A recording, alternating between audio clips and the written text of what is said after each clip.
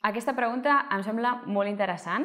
És veritat que durant el desenvolupament el número de connexions entre neurones eh, va canviant, però la dada curiosa és que des de ben aviat, des de que som ben petits, eh, el que es produeix és una eliminació d'aquestes connexions. Anem a veure això una mica més detalladament.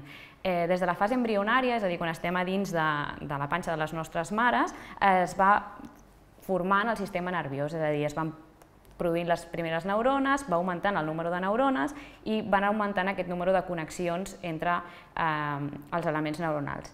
I aquest número de connexions augmenta al llarg del desenvolupament fins a l'edat de dos anys, que aquesta crec que és una, és una dada curiosa perquè quan tenim dos anys eh, tenim el doble de connexions sinàptiques que els nostres pares, per exemple, que un cervell adult. Per tant, hi ha d'haver algun procés que expliqui per què es produeix aquesta pèrdua de, de connexions sinàptiques. I és el que es, es coneix com a pruning neuronal. És a dir, es fa una poda, una eliminació d'aquest excés de connexions i s'eliminen aquelles que són innecessàries d'alguna manera per fer el nostre sistema més eficient. I eh, aquesta és una dada important perquè el que eh, ens permet veure és que el nostre cervell funciona o eh, madura sota el principi de use it or lose it. Per tant, quan nosaltres som petits, eh, d'alguna manera aquest sistema de pruning identifica quines són les connexions que nosaltres utilitzem per les nostres activitats, per eh, fer allò eh, que normalment fem, es reforcen aquestes connexions i en deteniment de poder reforçar aquestes connexions, s'eliminen les que no s'estan fent servir.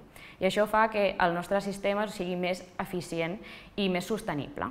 Per això, quan som petits, es diu coses com que els nens són com esponges, perquè d'alguna manera és una etapa en què el nostre cervell és molt plàstic, és molt sensible a l'ambient, a, a allò que ens envolta, i és a partir d'aquests inputs eh, en base al que es configura. No? I en paraules de Ramon i Cajal seria que nosaltres som escultors del nostre propi cervell.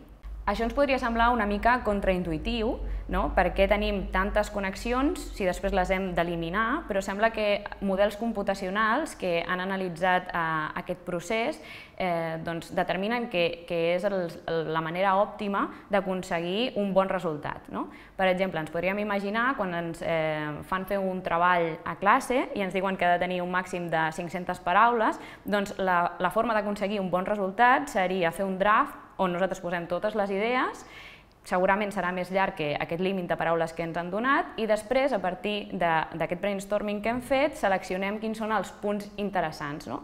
I a partir d'aquí doncs, ja farem el resultat final de forma molt, molt més satisfactòria.